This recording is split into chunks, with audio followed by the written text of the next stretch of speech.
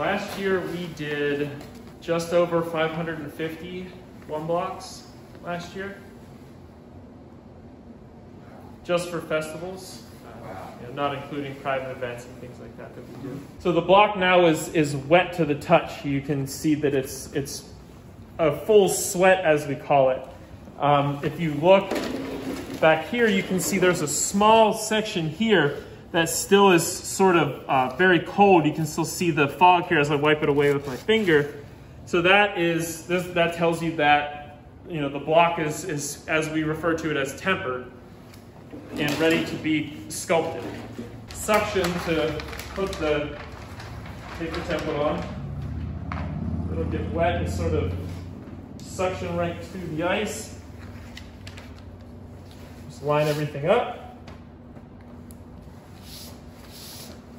Remove the air from behind it.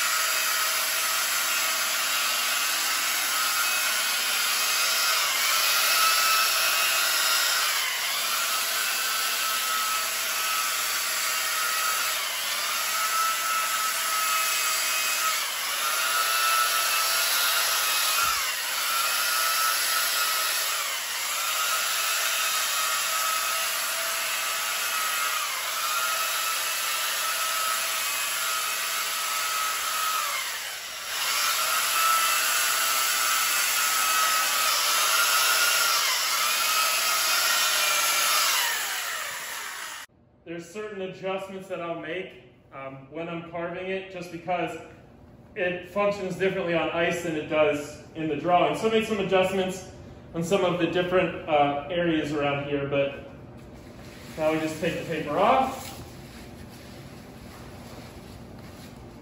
We're left with the ice.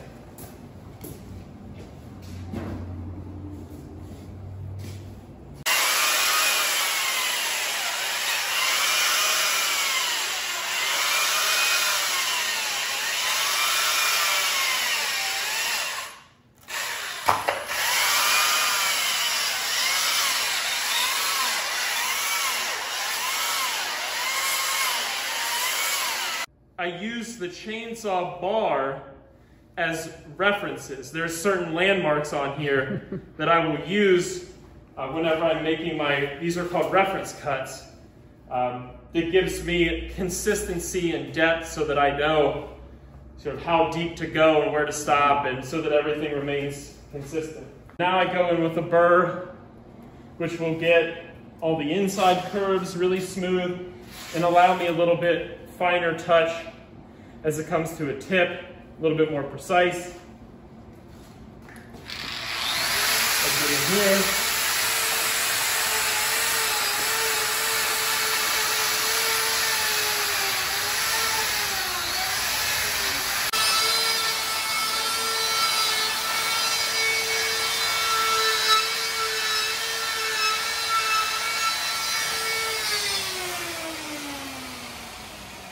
So ice is a transparent medium.